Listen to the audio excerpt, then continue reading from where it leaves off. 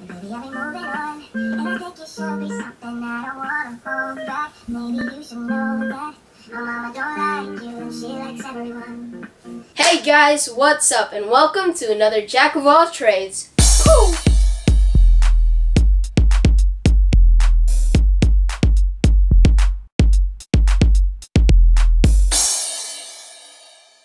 Alright guys, so here's another Jack of All Trades. And today we are doing... I don't think I'm quite ready yet. This is ready, but I'm not. And I'm gonna be in three, two, one. Ooh, got my little apron, guys. Don't worry, I know it's inside out. I do, I do. And I got a hat because I don't want my hair getting in the way. Yeah, don't worry, guys. I'm not gonna be cooking. I'm not gonna be burning the house down again. Anyways, moving on. I'm not cooking. Then what am I gonna do? I have an apron. I just don't want to get messy. So here's what we're doing today. Ready? Bah! That we're doing play work. It's a bit different, but I want to try to make something. I don't know. I don't know why I chose to do this, but I am. I'm gonna do it. So today, guys, it. I'm gonna be trying to make a box. And I have made a box before. I made a guitar pick looking box for one of my friends. Now I want to try to make a box with hinges. This might be difficult. I don't even know how big I'm gonna make it, but all I know, all I know, all I know, all I know is I'm gonna make it look good for, for me, for me. Doesn't have to always be for someone. It's for me.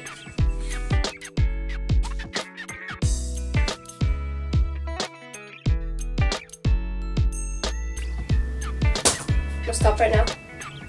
I'm gonna move you guys. Ready? My hand is clay. Alright guys, so now that you're in new workspace, much better than before. Gotta clean it up so it's nice, not really dirty. You don't want that sticking to your clay.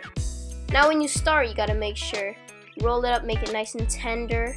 Make sure you pound it so it can be flat because you want to make a box and it needs to be flat. You also need that water. So you smooth out any creases, make it nice, smooth, easier, tender. Now you put it up because you think you're gonna do a wall, but then eventually you realize that it's much, much better to just tear it off. And you know what you do?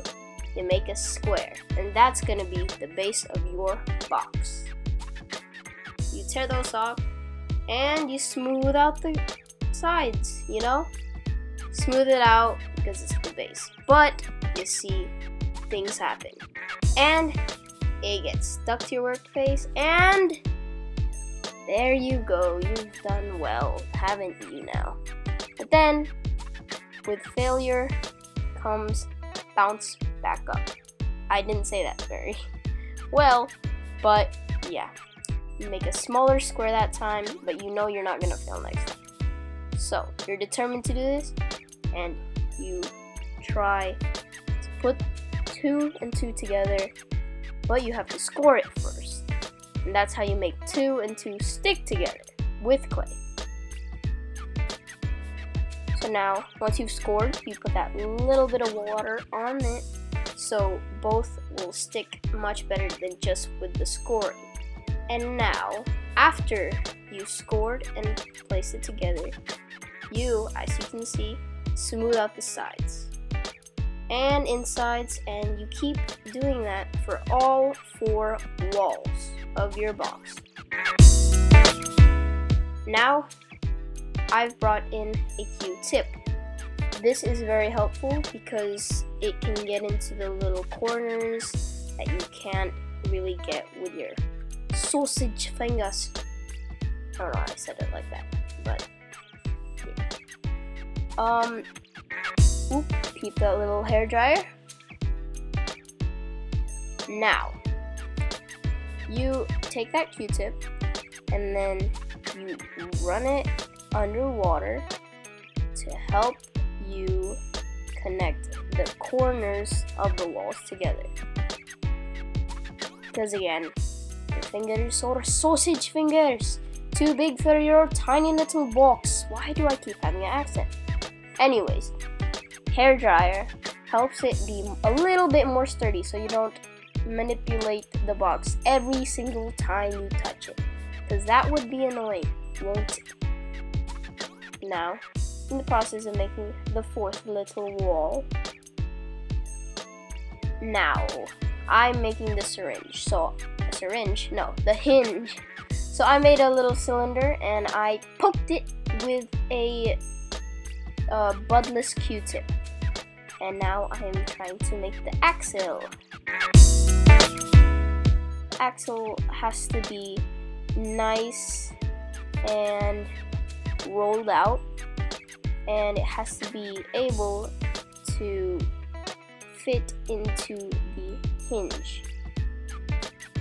Now I'm making the end of the axle so that it would be easier to attach to the box and to place into the hinge without having to having to put the end on while it's inside the hinge.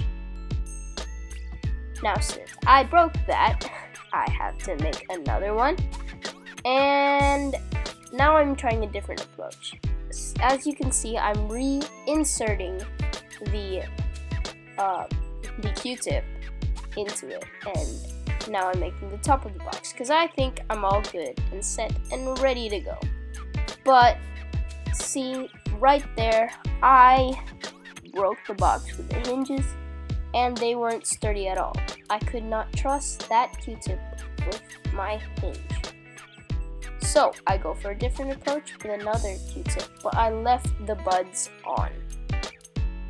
As you can see in a bit, it really helps as it stays on the box efficiently.